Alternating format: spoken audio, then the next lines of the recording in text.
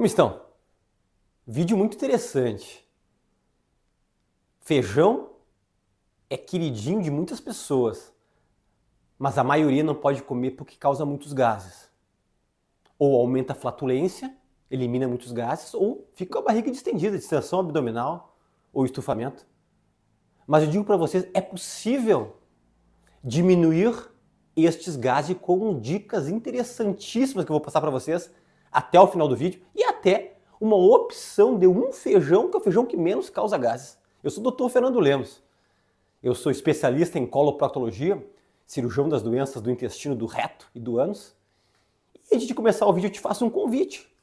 Junte-se a nós, a nossa família Planeta Intestino. Tem pessoas que gostam dos vídeos, mas não são inscritos no canal. É um prazer ter você conosco. Já passamos de 6 milhões de inscritos. Já estamos em todos os continentes do mundo. Então clica onde diz inscrever-se, é gratuito.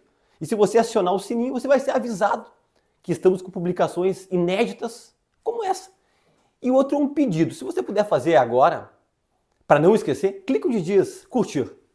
Dê um like, dê um joinha, que isso aí é importantíssimo para o nosso canal. O canal é meu, o canal é seu. Você sabe que o Planeta Intestino só traz informações com comprovação científica que você pode seguir, como diz o ditado, de olhos fechados e compartilhar com as pessoas que você gosta e amigos próximos. Por exemplo, esse vídeo, você já tem que clicar depois em compartilhar e passar para os teus amigos e familiares. Pessoal, primeiro de tudo, vamos lá. Feijão é muito nutritivo. Eu, pessoalmente, gosto muito de feijão. De quase todos os tipos de feijão, eu gosto. Feijão é rico em proteína, feijão tem carboidrato, feijão tem fibra, feijão tem ferro, Feijão tem zinco, feijão tem cobre, feijão tem vitamina B9, que é o, que é o folato. O folão é um, é um, como nós dizemos aqui no Rio Grande do Sul, é um baita alimento, um super alimento. Porém, nem tudo são rosas. Feijão realmente causa gases.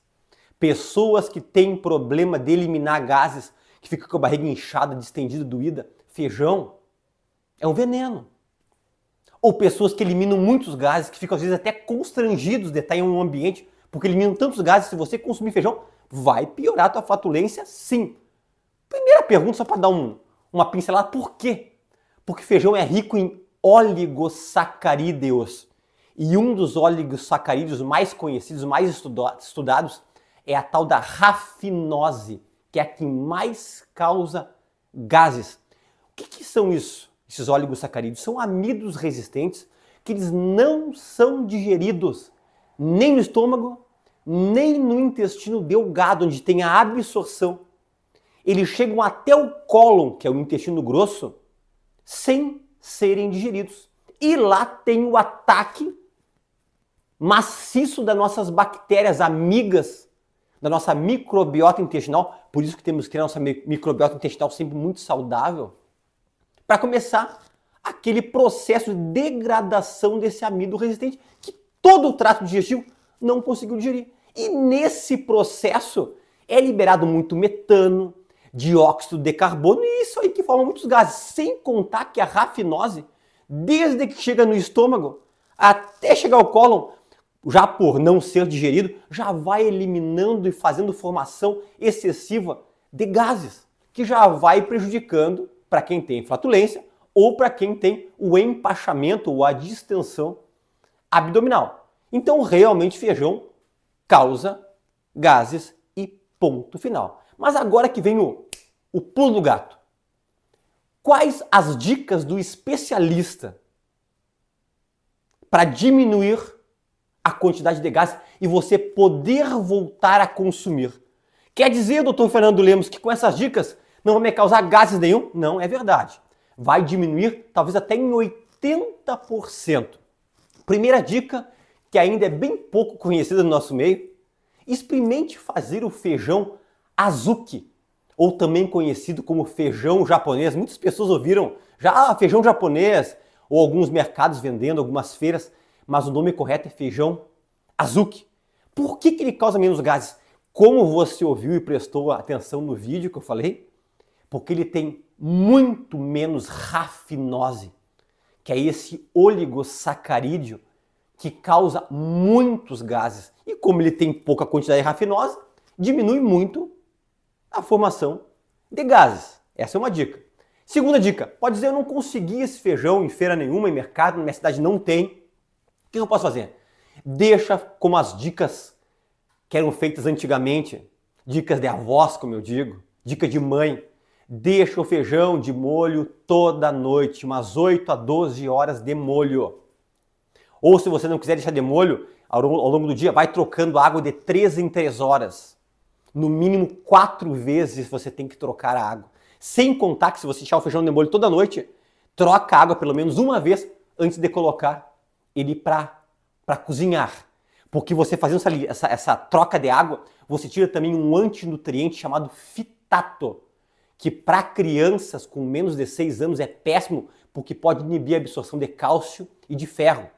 Pode causar anemia, pode causar uh, ossos fracos, déficit de crescimento por causa do, do cálcio. Tá? Então, também auxilia. O fitato não é tão preocupante para nós adultos, porque nós sabemos que o fitato, quando tem contato com o suco gástrico, ele é completamente eliminado. Mas essa troca de água é muito importante. Então, 12 horas de molho é uma outra dica. Olha uma outra dica bastante interessante.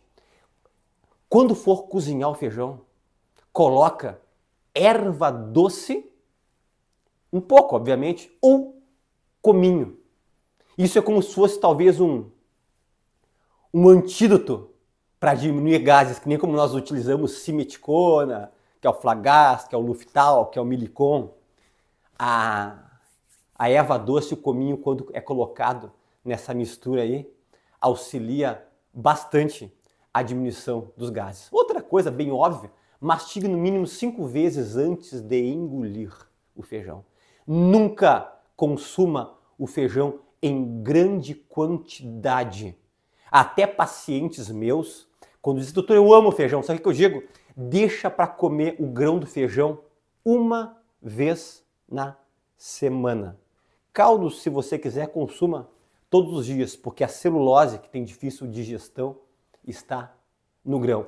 Muitos me perguntam, doutor, eu posso amassar e comer amassadinho? Não, pessoal, porque tu vai amassar, a celulose vai ficar ali, junto com o caldo você tem que consumir sem o grão para pessoas que têm problema sério com gases e que mesmo fazendo essas dicas continua com gases. Aí você vai ter que se contentar comer feijãozinho, o grão, uma vez por semana. O caldo pode ser mais seguido. Mas conheça o feijão azuki, ele não é tão fácil de achar, mas é bastante interessante. Pessoal, eu não posso esquecer de dizer que eu tenho uma página no Instagram que está beneficiando muitas pessoas. É dr doutor, ponto Fernando, underline, que é aquele tracinho baixo junto à linha, Lemos, dr.fernando, underline Lemos. Tem o selinho azul do lado para mostrar que é a nossa página oficial, para você não estar tá seguindo alguma página falsa do Dr. Fernando Lemos. E te espero no próximo vídeo. Abraço a todos e fiquem com Deus.